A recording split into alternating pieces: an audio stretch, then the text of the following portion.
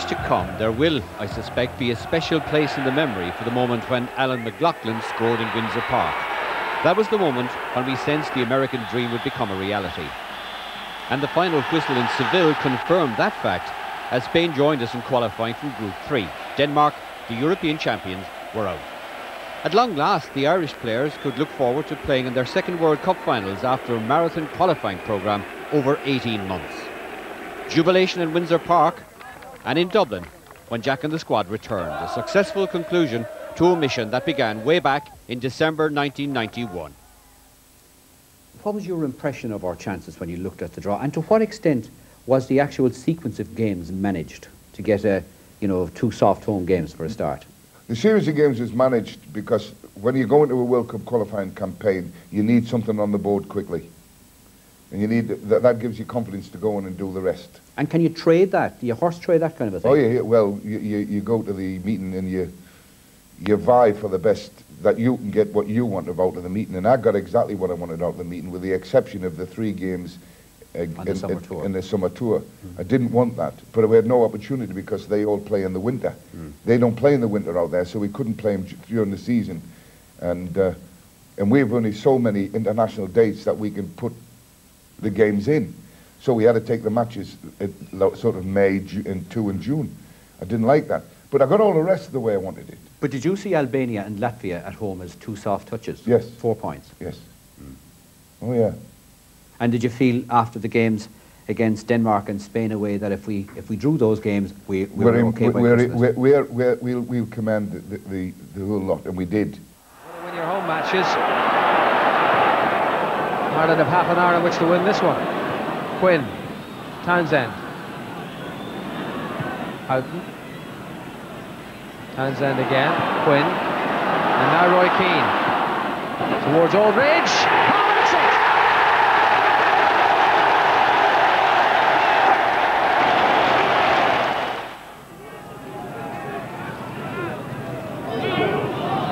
McGrath!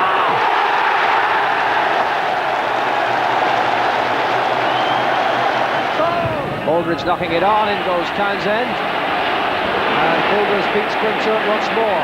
Aldridge arriving, but the Latvian leg stretching out to clear the danger. Keane, Whelan, Keane again. Keane's cross, Aldridge, Quinn goes in, Sheedy's there!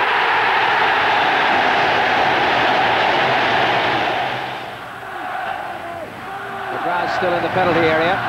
That's towards Aldridge. Oh, it's made it! It's made it! 2 0. Now, the little shuffle led to success in the past. And there it is again, 3 0.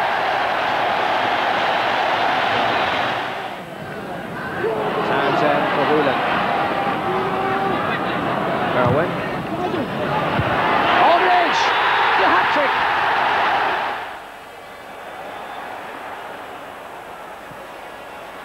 Oh, they've given it away. Townsend!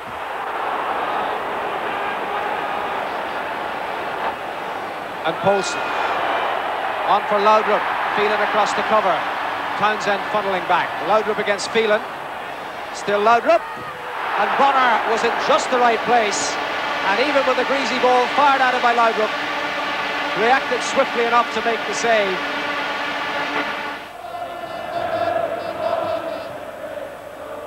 And whether it's Copenhagen or wherever it is, the Irish support is there. But here's a threat from Denmark. Laudrup, still it's Laudrup. Bonner to the rescue. The greatest threat we've seen from Brian Laudrup. Meanwhile, Imoran for Townsend. Aldridge, nicely on. Quinn's all right this time. Quinn against Zubizarreta. He's missed it. He has missed it. Up goes Irwin. Irwin missed it. And now it's Butragueño. Martin Vasquez. Salinas in a dangerous position. On his own. And Moran just got there to get it away. And Phelan finally into touch. He's found Keane. And Keane finds Quinn. Good play again by Roy Keane. That's for Aldridge. And Aldridge hacked down by Lopez. And a free kick and a booking surely Lopez pulling Aldridge down. It was brilliant play to put him in that situation. He was cruelly hacked over by Lopez. He has the red card in his hand. And Lopez is off.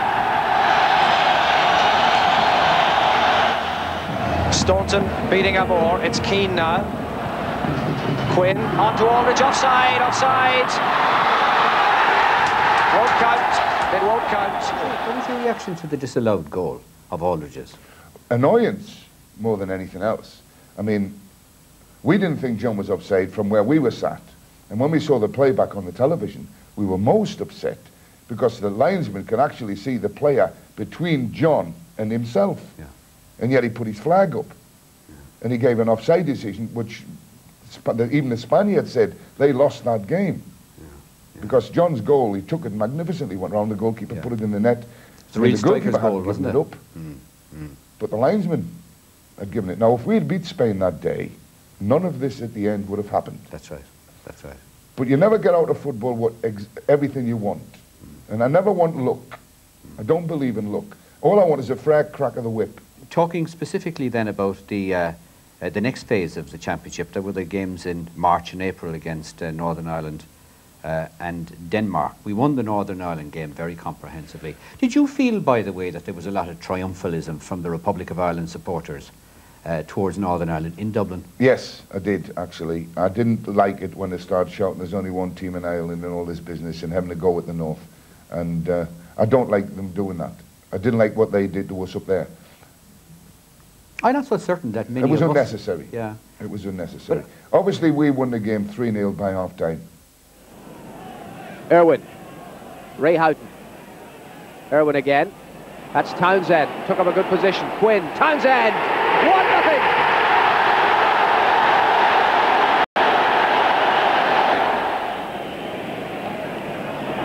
McGrath. Staunton. And Houghton. Looking for Quinn. 2 0.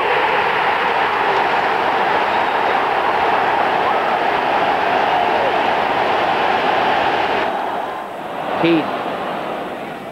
Houghton taking over. Irwin going outside with a cross here. It's Quinn. Oh, great save by Wright.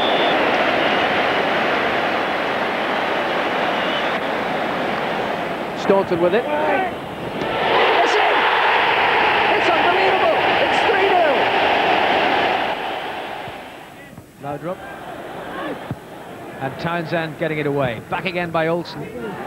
Bonner calls, McGrath heads it. Oh, Philport, it's gone straight to him. Trying to lock Bonner. On, it's there! It's there!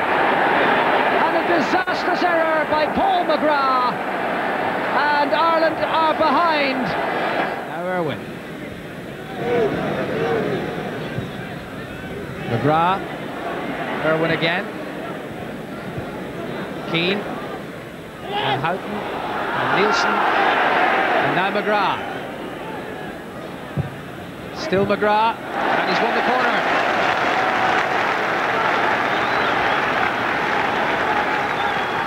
Better from Ireland. It's the only way. Staunton, Quinn, it's in!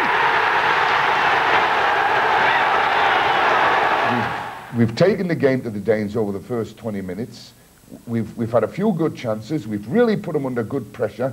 And then all of a sudden, a ball down that, that if Packie shouts quick enough, Paul leaves and it goes to Packie. But he shouts at the instant when Paul was about to head the ball and Paul was caught in between doing it and leaving it. It was, it's one of the things that happen in football sometimes. And the ball fell to one of their players. Paddy was off his line for a ball that he should have called a bit earlier for maybe and, and, and taken comfortably. And instead we're a goal down. Then when you're playing against the Danes who have got a tremendous record of, of defensive play, I mean, probably they didn't qualify the Danes because they concentrated more on defending the, than, than they did on attacking because they're a very good attacking side. And, uh, and then we've got to get back in the game. But I didn't think when we scored that it was out of line. I thought we th thoroughly deserved the equaliser against the Danes. And, and then the game finished up in a 1-1 draw. We had lost the little advantage we had over them by getting a draw in there. Copenhagen. Yeah. So, but we hadn't lost anything. That was the main thing. We hadn't lost anything. if I'm sure more than anybody else, you would have appreciated uh, before Italia 90 uh, how commanding and how authoritative and how important to the team Packie Bonner was. Uh, Does it worry you that he doesn't seem to have the same authority these days? Packie has probably had less to do in this tournament throughout than he's ever had to do with us. Packie has had to save us on many occasions, like when we played in, in the, with Romania, uh, Bulgaria, Romania? Albania. Alba- no, Bulgaria, during the World Cup Oh, before. oh yes, oh yeah, yeah, yeah. He made some tremendous saves. But Packie's got to sit behind the defence in the opening 10 games who have virtually given nothing away. And he's very rarely been called on to save us. And it's hard for goalkeepers when this happens. You know,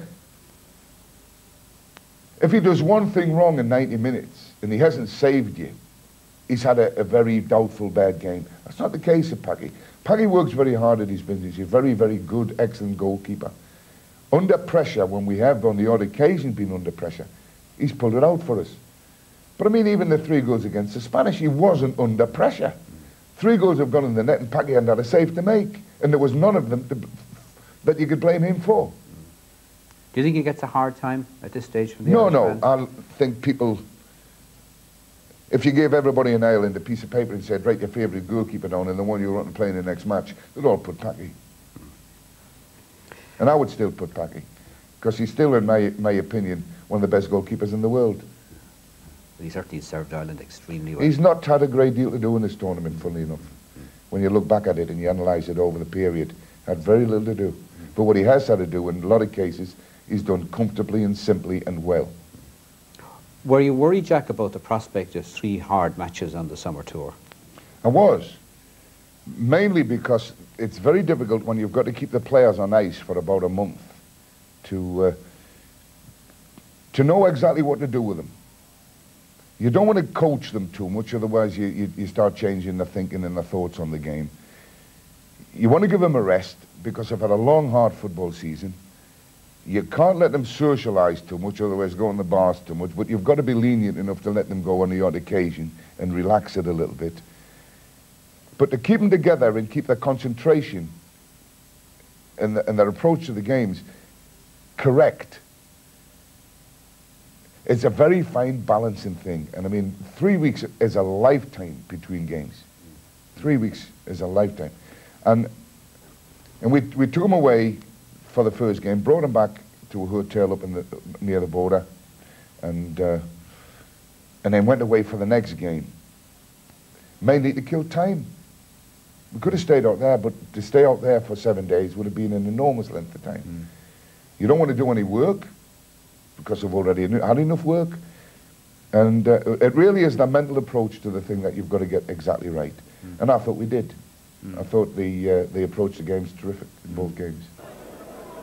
Quickly taken. Looking for Quinn. Headed away by Rudi Vata. Now Demollari. Oh, what a good ball for Kushta, he's got the legs of Kernaghan here. Kushta against Bonner, and that's 1 nothing Albania, and a disastrous start. And Staunton can fairly hit them from this kind of range. So here comes Staunton.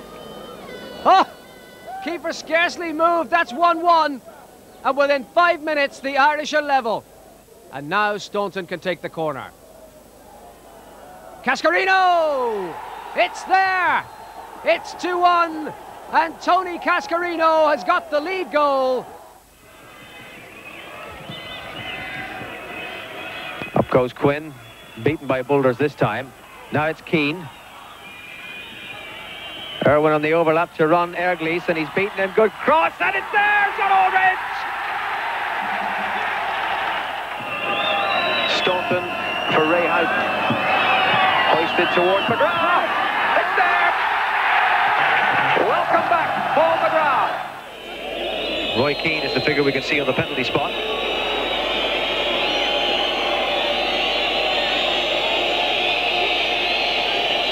Martin Kenas looking agitated. And here's Staunton. It's in the net! Off the defender. It's 1-0. Stephen Staunton drilled it in. Niall Quinn shook his head.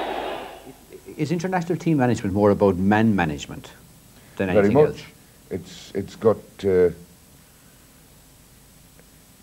you've got to inform the players about what to expect. They, although they play international matches, they don't really watch a great deal of international football apart from on television. And, and you don't see a game on television and really until I go and watch it and give them a report about the pattern of the game, the way they'll play, the type of game I expect them to play. And usually I'm right. Usually I'm exactly right, and they appreciate the fact that I'm right. And, and they listen. But it's the three games in, in, the, in the summer we could have well done without. I would have rather played them all in May. I don't like to give anybody a hard time in the game of football, actually.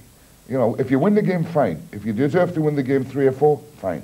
If you deserve, deserve to win it 1-0, fine. If you lose the game and you deserve to lose it, fine. Mm. All I do is I prepare the players in the way that I think they need preparing. I inform them with as much information about what they're liable to expect uh, from the opposition. And then once the players go on the field, it's up to them to produce what they're capable of producing and maybe a little bit more if we can have it. Mm. Um, so you weren't surprised against that background, so Jack, that that we got a dose of our own medicine in Belfast, were you? Well, I didn't expect it to be like exactly like it was. I thought it was uh, bordered on the nasty at times, and I didn't like that. Mm. There wasn't like much humour in it, sure, there wasn't really. There was no humour. I like a little bit of humour in football matches. Mm. I like to smile a little bit. I like to live the game with it. I like to have a laugh at something. Mm. And uh, did you get a hard time yourself? No. No, nobody said a wrong word to me. Not one word. I mean, even the, the, the, the thing with Billy yeah. was not with me, it was with Maurice. It was Maurice that someone made a gesture at. Yeah. And Maurice told me what they'd done. And I interpreted it in the wrong way to Billy. Yeah. And then I realized what I'd done and I went and apologized to Billy, which was, I've known Billy years and... and uh, it was, I thought, if I may say, so, without being patronising, I thought it was extraordinarily generous on your part in the circumstances. Because you did it at a press conference. No, I di- uh, well, I didn't intend to do it at a press conference. I did it because I went in to see Billy and I chased him trying to find him. Found he was in a press conference, not talking about the game, but talking about his retirement. And I stood and listened to Billy for 20, 25 minutes. And then I suddenly realized that the players were want, maybe wanting to get to the airport to get the... And, and I, I really had to go and interrupt Billy. And when I went to interrupt Billy, they were all leaning over and listening. So I said it to the press. They, they, were there, and I just said, I made a remark to Billy, I regret, and I've come in to apologise to Billy for making the remark. Mm. And I meant it. Mm. I really did. Because I would have hated to have had to walk away from the ground on Billy's last day as an international team manager with a sour feeling like that. And it would have been between me and Billy had I not made amends of it before I left the park. And have you ever uh, actually told anybody what you said? Oh, yeah. Would you, will you tell us? Well, one of the players, apparently, when they scored, had, had looked at Maurice and gone, up yours. And I went on the field, really, to say, to, when, I, when I bumped into Billy on the field, I intended to say to Billy, one of your people in your box was out of order when you scored, give it up yours. And what I did was I said to Billy, and up yours as well. And it wasn't Billy's fault. It wasn't him that had done it. But we were all a bit high, and we were all a bit hyped up at the time, and uh, I had to repair the damage. Mm, mm. It's not part of your nature to say these things, is it, Jack? No. No, I never abuse anybody. Mm. No, it's not. Uh, eight years down the line, Jack, how much better a manager are you today than when you started? Better international manager. I mean, I it's really a part-time job international football. I mean, I don't, I've only got, what, maybe a dozen games a year, if that. Yeah, probably a dozen games a year. And uh, just staying in touch with the players throughout the period between the games and, uh, and, and keeping them as a group and a team and something they want to come and play for and want to be part of. Um, that really is, is, is, is break, finding a balance between relaxing them and being strict. You see, what a lot of people don't really realize is we don't own the players. We borrow the players from English Football League clubs. And the players will only come if they want to come, if they are happy with the setup, happy with the way things are, happy with their own involvement. And we've got a group of players who are extremely happy with what's going on. They're delighted to be part of, of what we've got. I mean, some of the lads, like Alan McLoughlin and uh, and David Kelly, who, who sit around and don't play very much at all. If I leave them out of the squad for any reason, and I have done on the odd occasion, when I thought I'll only bring 18 players in for this one, they phone me up and say, what's up? Why can't I come? They want to be there. They want to be part of it. Better to be on the fringe than yes. not at all. Yeah. Well, it better be on the fringe, but they want to be part of it and they want to come. Mm. They want to be involved, which is part of our strength. Jack, did you ever in your wildest dreams imagine eight years down the line that the whole country would love you? That, that you would have so much adulation? I never thought about them loving me. I never thought about... Uh, I always like to be well liked. Yeah. I mean, in any job, you like to be well liked. Mm. Fortunately, I've always been well liked wherever I've been, apart from a couple of weeks at Newcastle. uh, but mostly I was quite well liked. The... Uh, you've got to have that, that, that rapport with, it, with the public.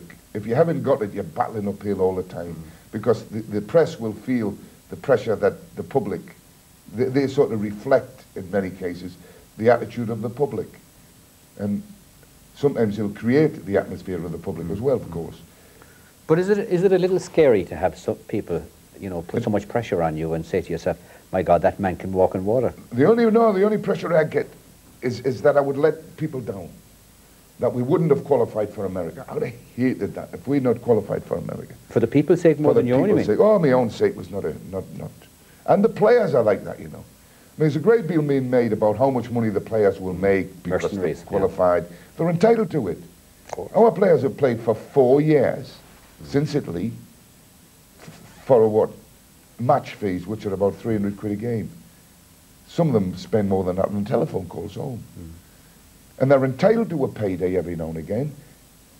And whatever they make, if they make a few grand a piece, I'll be delighted for them mm. because they've earned it. Mm. I mean, they've got nothing for European Championships, although they never lost a game. But have you seen a, developing sense of Irishness in the players that have been yes, I have. mercenaries? I have. Very much. I mean, a lot of people make the, the play that, they're, well, Billy, what was the term Billy used? Mercenaries. Mercenaries. You know, Billy's a bit annoyed because Alan Kernaghan played for us instead of playing for them. But then Billy had the chance to play him and he didn't. Mm. So we play him and now the crowd give him a stick up there, but that wasn't Alan's fault. Mm. That was theirs. We've used a play, few players over the years, uh, go back two that go back to grandmothers. That's all. Yeah. The rest of them have all got direct parentage into this country. And we break no rules. We use the rules that are, are applicable here, Scotland, Wales, and England, in fact, someone pointed out to me that England have qualified more Irish players to play for England this last year than, than, than we've qualified players who could play for them. yeah. Maybe because one or two of the young lads that are looking good players, they've qualified so they can't play for us. Mm. Which but there is a sense of Irish pride now in the players. Oh yeah, very much. One of the nice things that happened was during the World Cup, we, had, we, we received uh, directives from FIFA that the players would not face the flag, they would face the dignitaries in the box. And our players absolutely flatly refused to face the dignitaries. They would face the flag. And I said, listen, you face the flag. You, face, you do what you want to do when you're out there, what you feel you need to do. And they did.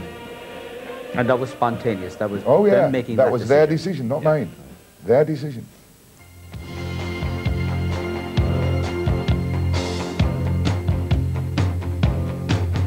Jack Charlton, you've qualified for the second time for the World Cup uh, finals as manager of Ireland. How would you characterise the most recent qualifying series? Enjoyable, exhilarating, tense, tough? More tense than, uh, than exhilarating. It was one of those situations where we were in a group of seven and we knew we had 12 games to get to in a very short period of time in football terms. When you consider that we've had to do it all on top of the whole English Football League season and uh, having the three games in the middle of the summer last year against Albania, Latvia and Lithuania didn't help. You know, when your players have had a long, hard season, then you've got to go on till the 20th of June before you actually finish your qualification games. Um, but it was a good competition. It was a great competition. The lads have really worked hard at it. They've got results when we really were delighted to get results. It's Terrific. And we But it left us in a tense where we had Spain at home and uh, Northern Ireland away. How, how, badly did that affect you? Because I want to give you a quote from one of the English papers. They described you, they said, as an amiable eccentric. But at the end of the match against Northern Ireland, you were a gaunt, stiff mass of unresolved tension. Was it that bad for you? Took me a long time to come down after the game, actually.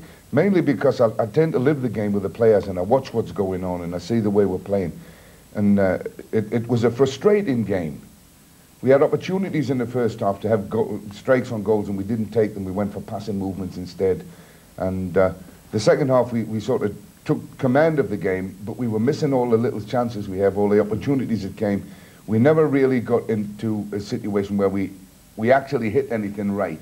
Everything seemed to be misdirected or rushed. And then when the Northern Irish went in front, I mean, it was completely out of the blue. It was a cross. Against the run of play. I thought it was completely against the run of play.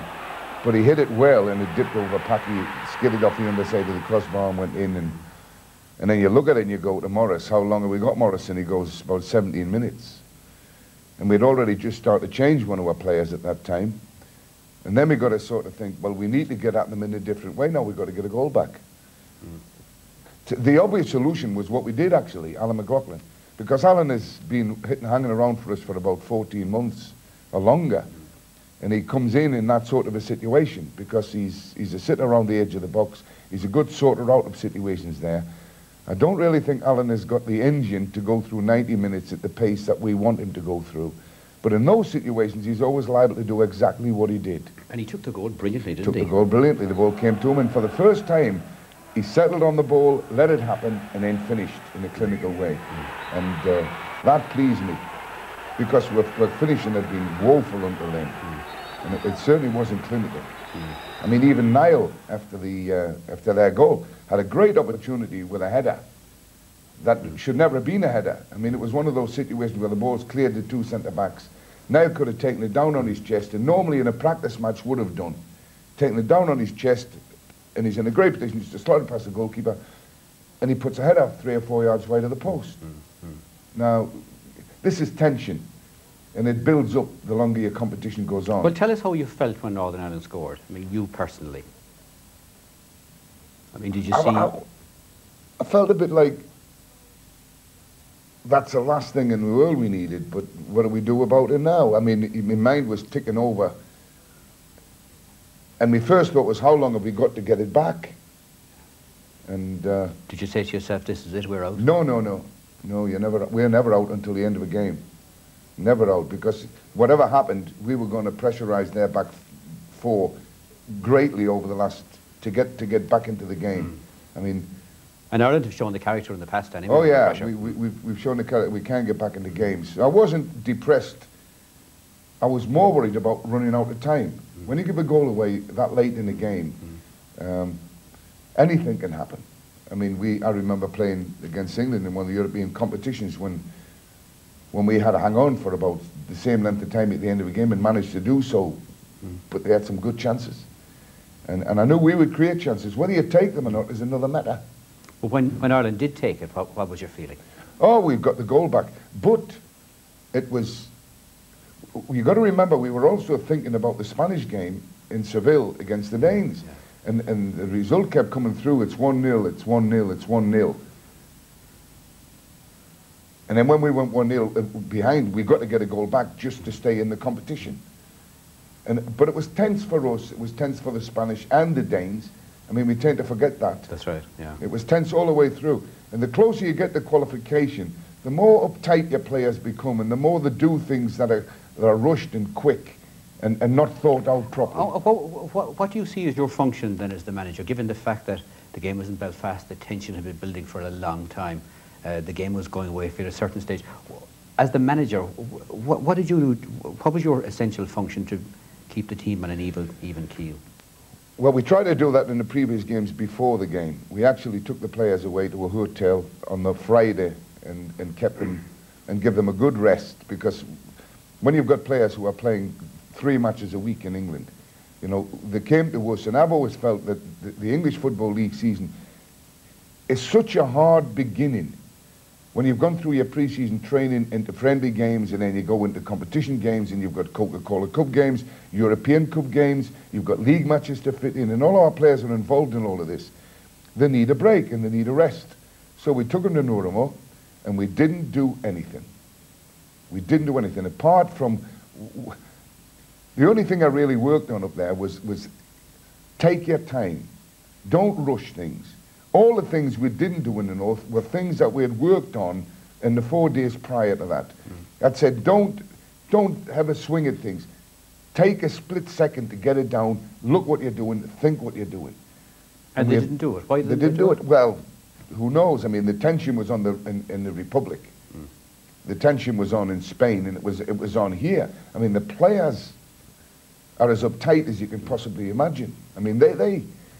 Was it the most pressurised situation you were ever in, did you say, in spite of the World Cup final? I wasn't really felt pressurised during the game at nil-nil. I felt that we were much, we were the better side and that we would eventually score a goal. Mm. The goal came as a complete shock, and then we got to get it back again, mm. and we did. Um, the worst part for me was, was the last minute of the game when, I, when I'd gone onto the field and someone came and told me that uh, Spain had beaten Denmark and we'd qualified. And I walked off. That was the worst part? That was the worst part at the end of the game because as I walked off the field to go to the dressing rooms, there was a monitor and the game was still going on. And I said, is this a recording? And he said, no, no, the game's still on. And it played for about another four or five minutes. And, you, I still and of course you thought it had been over. Yeah. We thought it was over and finished. And I've got to go back on the field and say to the lads, wait a minute, we're not there yet. They're still playing in Seville.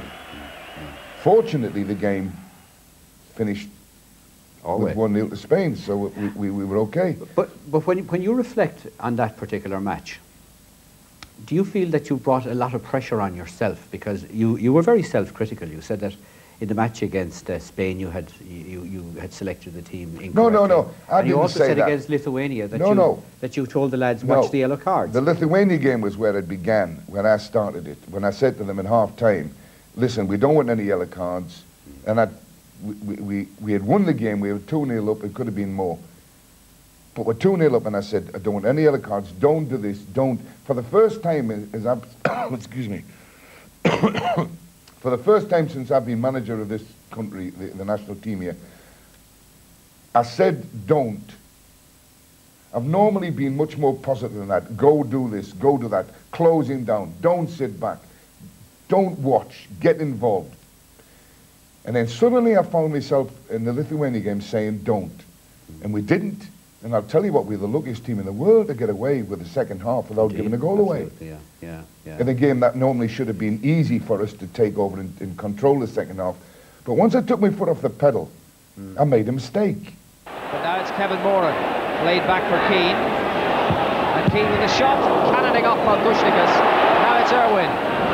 Over the top for Stephen Staunton. Drilled in the middle again.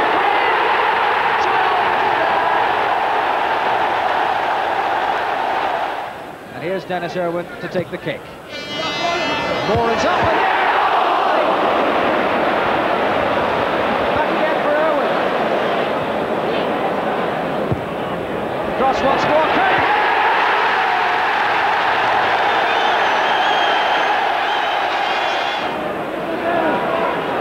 Looking for Stumbries going through the middle. And support here from Kirilovas. His shot and Moran has to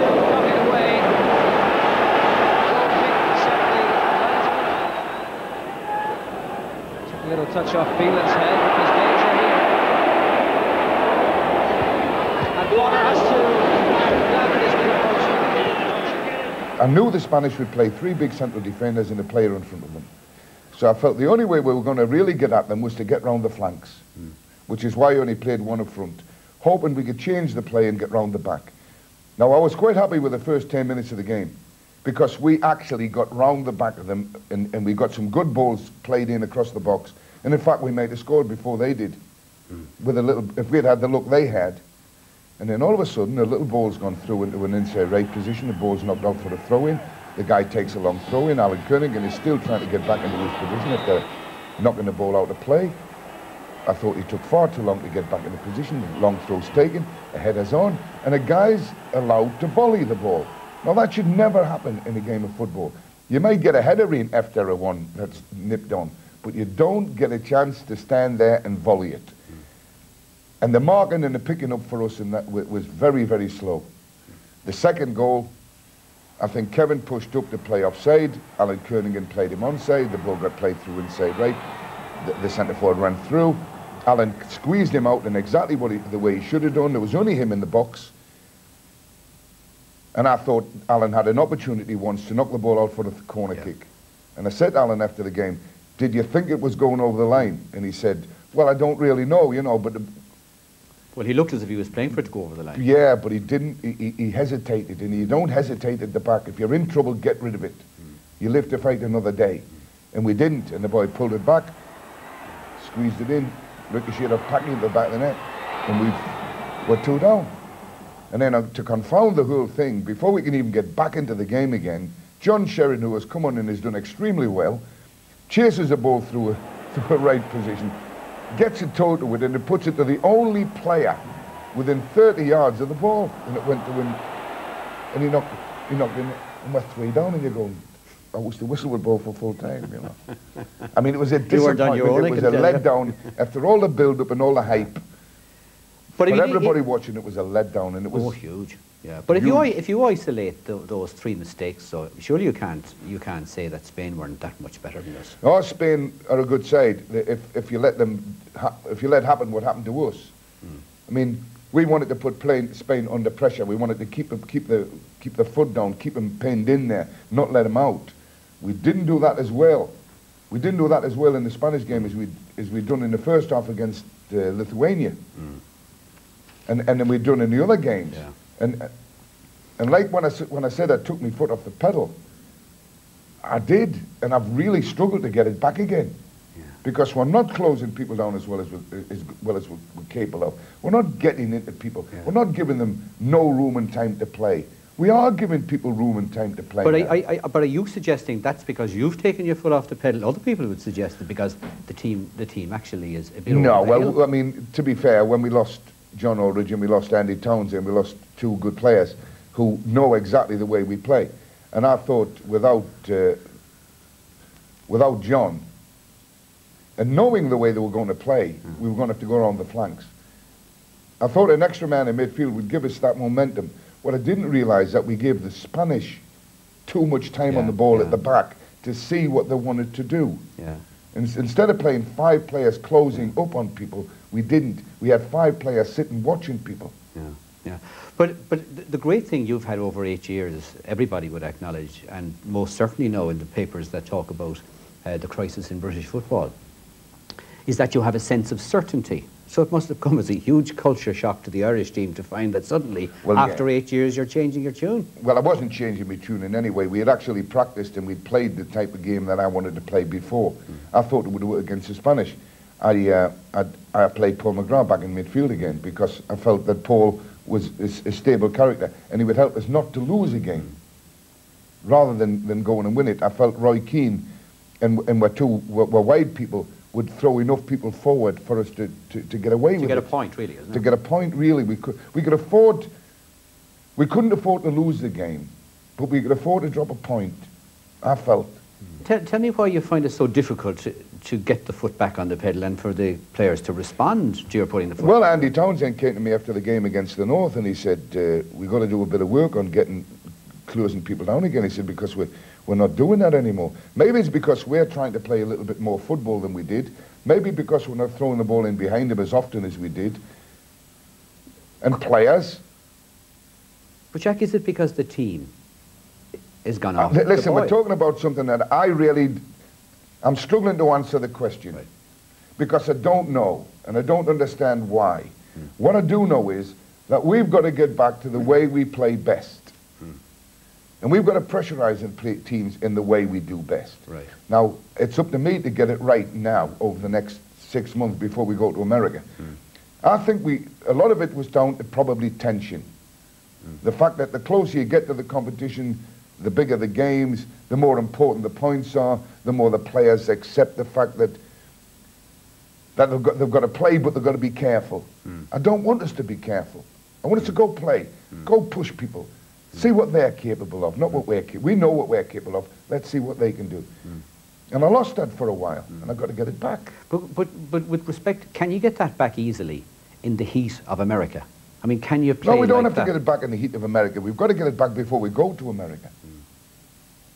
Hmm. We've certainly got to get it back before we go to America. But, but by your own admission, a number of the players uh, are, are past, you said yourself, one or two No, no, past no. the sell-by date. No, um, So what, what, I mean, no, no, not really. That, that, you see, I've lost David O'Leary. He's long-term injury, David. Kevin Moran is 37 now, and Kevin's getting no, no quicker. Been a great servant for us, and he's done extremely well during this competition for us. Paul McGrath is, is having problems with his knees and, and things. When I talk about what I've got to do, I'm not talking about this. I, I want to wring as much out of them as I can to the final. But what I really do want is I want, I've got to find the right sort of replacements for them if things start to happen before we actually go to America, Right. which might. So really, I'm not looking at uh, replacing my team. I still think we've got one of the best, most competitive sides in Europe, if not in the world. When they're all fit, Yeah. but I've got to find other people yeah.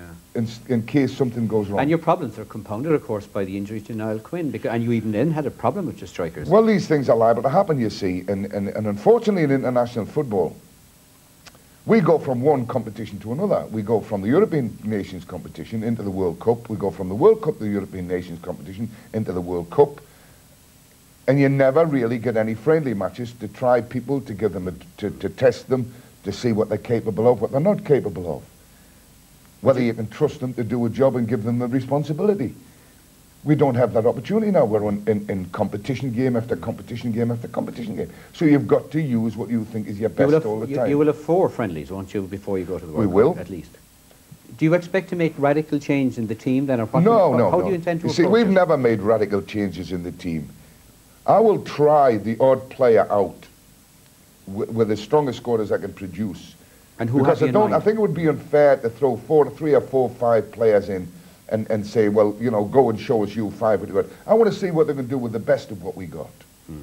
And we've got some very good players, very competitive players, who will still be around when we go to America. Hmm.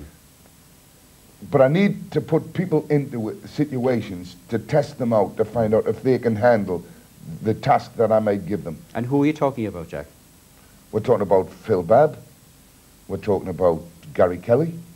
We're talking about probably Alan Kelly, the goalkeeper. We're talking about several players on the fringe. Eddie McGoldrick. he's only played two or three games for us. Hmm. Not really, really been put to the test. I've got to find a left-sided player.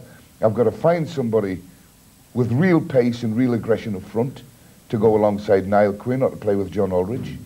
I mean, not to play with Tony Cascarino. I know what we need. Finding it is going to be a problem. Hmm.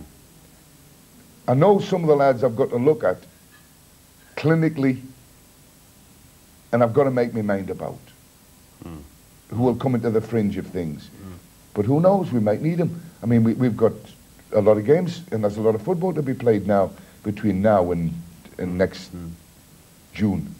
If you look at our resources, uh, how do you respond to the, the, the kind of attitude you'd find in the British press that given those teams that did not qualify, that uh, what you have done with Ireland is nothing short of a miracle in football? No, in a miracle. I thought we were the best team in the group by miles until the, the Spanish game. And I think this, the Danes felt we were the best team in the group, and the Spanish felt we were the best team in the group. They were worried about who qualified between them and Denmark, not, not us. They'd already given it up on us. I mean, I've talked to both managers and I've talked to sets of people. We were expected to qualify. They were the ones that, that, that felt at risk. We only dropped six points of 24, which is a Six points remarkable out of achievement, isn't it? 24. It's, I mean, normally we would have qualified just on that. Yeah. Now, uh, where maybe I'm maybe writing a lot into the fact that uh, some of the things that I said over the last few games have been quoted and, and, and written about that there are, there are cracks appearing that, that we're not as good as we were. I've already said that. It's how good we'll be when we go to America that we're interested now. That's gone. Hmm. We're not interested in that. But, but how, how big a job do you think it is for you to kind of get the foot back on the pedal? I mean, if you don't really know what's gone wrong, I mean, Well, I know How- what's how are you going to approach that? I know that when we've got all the players available to us to play, we'll play anybody in the world and we'll get a result. when we've got everybody that's available to us now at this time. We've got a few problems hmm. To sort out before we go to America, but we're still a very strong outfit. Yeah. Sure. Because we slipped up against Spain, which is what you're worried about, and, and all- your things you're saying, Yeah. the rest of it is what I said. Everybody uh, in the, uh, who watched the Spanish game, that was a one-off. I said at the end of the game, it's a one-off. We, we hold our hands up. We give stupid goals away at a bad time in the game, and we couldn't get back into it. But End is, of story. is there any danger, sorry, excuse me, is there any danger, though, that you could look at the Spanish game and say that, that the British game has fallen miles behind? That we're going to meet a lot of Spain when we go to No, America? Nonsense. Is it nonsense? nonsense. Not at all. The Spanish, I'll tell you what, I went to see a game on the Saturday at Newcastle. On the Saturday after we had played the Spanish. And Newcastle were playing QPR. And Newcastle could have been three down in seven minutes. They've hit the post, had one kicked off the line, and scored a goal in seven minutes. The game could have gone beyond Newcastle in seven minutes. This is the way football is. But- I but mean, the isn't there- Spanish, yes? the- no, no, the Spanish game is a one-off. The Spanish game, forget it. All right, sure, sorry. We'll play them again Yeah. if you want. Right. And that result will never happen. Well, we should have won in Seville, in fairness. Now, you're Well, quite yeah, right about that. that- that again, but, but hang on a second. Now, England didn't qualify, Wales didn't qualify, Scotland didn't qualify for the World Cup. Now, what you what you what you bickering at then? I, no, no. The point I'm making. No, sorry. The point I'm making No, is that the British game, that the British football explain to you. game. No, sorry. No, I'm trying to. Make, I'm making. I'm asking you. What England did is none of to- our business. Except England were not as consistent and as not as, as- Sure. they weren't as consistent No. in, their, in their approach to the games as we were. Hmm. Mainly is why they, they lost a, they lost a a, game in Norway. They dropped two points at home when they were leading in games. Hmm. So they've nothing, nobody to blame but themselves. The But- Welsh went fairly close, they having lost a couple of games. that's right. But they nearly got away with it at the end. Scotland never really approached anything like their qualification that they normally would because So- the Scots so- normally yeah. qualify anyway. Yeah.